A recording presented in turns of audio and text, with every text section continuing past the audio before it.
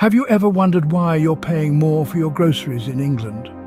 Well, you're not alone. The rising cost of goods, particularly groceries, has become a hot topic and there's a reason behind it all. Inflation, a term you've probably heard thrown around a lot recently, is the prime suspect. Inflation, in its simplest form, is the rate at which the general level of prices for goods and services is rising and subsequently purchasing power is falling. When inflation rises, your pound buys less than it did before. Now, let's delve a bit deeper. Over the past few years, England, like many other countries, has been experiencing increased inflation rates. The Bank of England's target inflation rate is 2% per annum. But in recent times, it has far exceeded this goal. The cause? A multitude of factors. There's the impact of Brexit, which has led to increased import costs. Then there's the global pandemic, which has disrupted supply chains, leading to a rise in the cost of goods. And let's not forget about the increase in energy prices, which has further driven up the cost of living. So what does this mean for the average person? Simply put, it means that the cost of living in England is rising. It's not just about paying a few extra pence for a loaf of bread or a pint of milk. It's about the cumulative effect of these price increases across all goods and services. It means that households have to stretch their budgets further and make tough decisions about what they can and can't afford. But it's not all doom and gloom.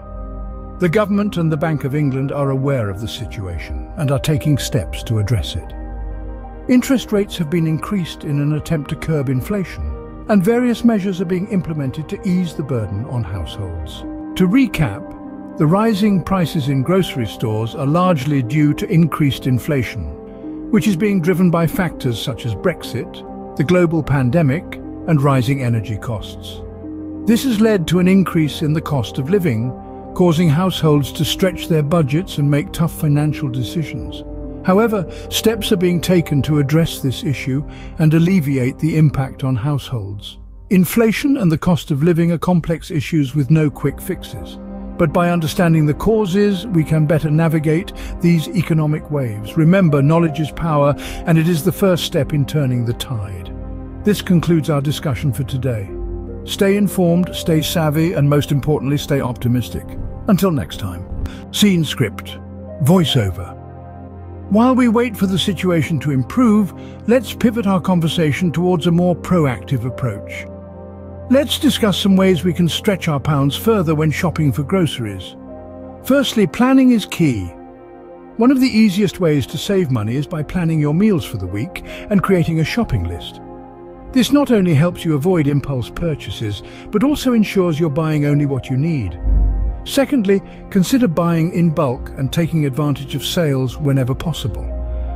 Non-perishable items like rice, pasta and canned goods can be bought in larger quantities when they are on sale, saving you money in the long run. But remember, a bargain isn't a bargain if it ends up unused and wasted. Speaking of waste, our third point is about being mindful of what you throw away. A lot of food waste can be prevented by storing food correctly, using leftovers creatively, or even freezing excess food for later. And finally, consider shopping at discount grocery stores or farmers markets. These places often have lower prices and fresher produce. Remember, every little bit helps. By implementing these tips, you can make a difference in your grocery bills. So stay savvy, stay optimistic, and let's turn the tide together.